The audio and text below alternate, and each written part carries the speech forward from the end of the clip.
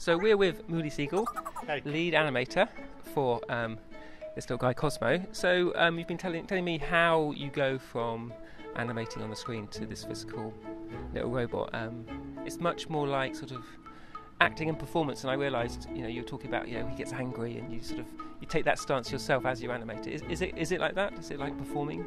Uh, yeah, absolutely. Uh, uh, otherwise, uh, it's really hard to make it believable. Uh, so basically, when I'm trying to make Cozmo angry, I'm trying to make myself angry to to figure out what it is, what it's looked like, what are the details.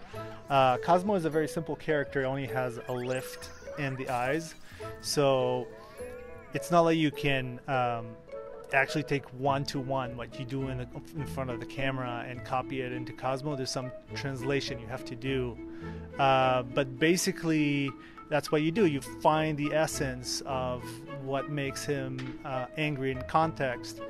Uh, you play it yourself, you record yourself, and then you try to figure out how to apply it to the robot. I think what I hadn't expected was that you'd then do that on the computer. So you use the, the like um, animation software that you'd use to create films or games. We're animating in CG world, see what it looks like in, in CG, and then um, export that information onto the robot.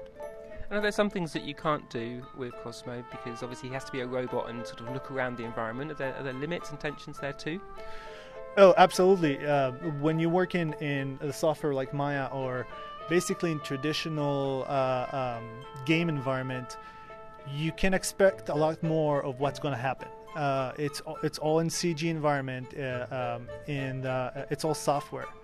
When you introduce a robot that is hardware, you start to look into things of, of things in the real world that change friction. Uh, you know, you can have them on different tables and desks and chairs and whatnot. And all those things we need to sort of find a way to take into considerations. So what might be one scenario in a game that is pretty simple, we might be facing four different scenarios, and we need to address each one. So we had a little uh, scenario where I animated um, um, Cozmo when he's on his face, like this. So he needs to needs to get back back up right ways. That's exactly what happened. yeah. Uh, so the uh, uh, other animator who worked on this, uh, he basically she put him not the way I intended him to be, uh, and instead of when I animated him, we just fell back. She put the lift in a way that made him do a somersault, and we saw that we were like, "Whoa!" Okay, we didn't think that's gonna happen, but it just did, so we're gonna keep it. Uh, uh, so that's one of the fun things about hardware is sometimes it's hard when you can't expect everything, but sometimes you get those golden moments that you just didn't expect and just happen, so you you own it. I, feel we have something that animators never really had a chance to work with uh, in that sense, where um, you know there's a famous book uh, that the old nine old men from Disney wrote. Uh, uh, it's called The Illusion of Life.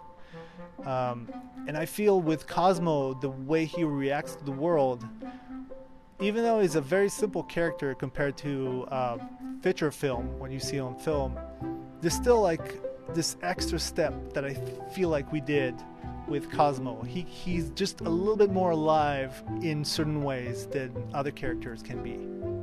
Great. Well, I mean, I've, I've seen him today, and I can't wait to get him home. Think that's that's how I'd like to meet my kids. Um, so I think you've done a really good job. Um, thanks for telling us how, how you achieved that with Cozmo. Absolutely. It was a pleasure.